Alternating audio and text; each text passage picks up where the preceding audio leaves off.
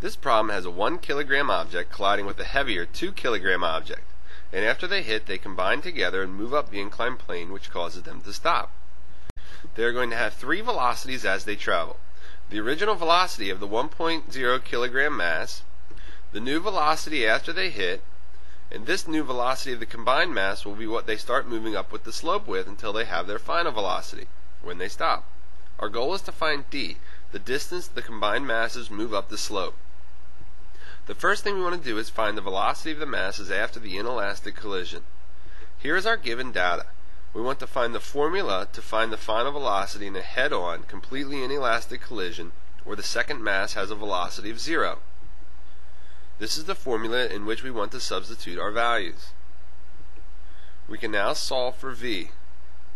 The velocity that we start climbing the slope with is 3.33 meters per second. Now we are going to need to find the variables for the mass traveling up the slope.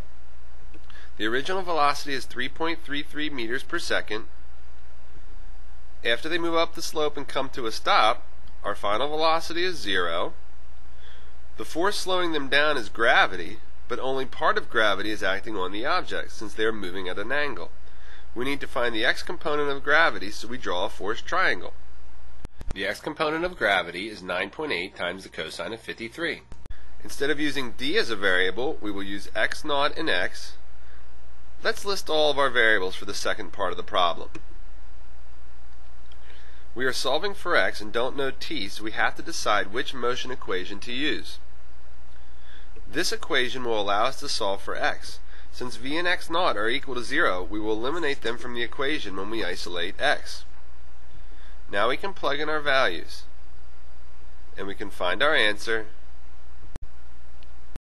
the objects will travel up the slope 0.94 meters before coming to rest.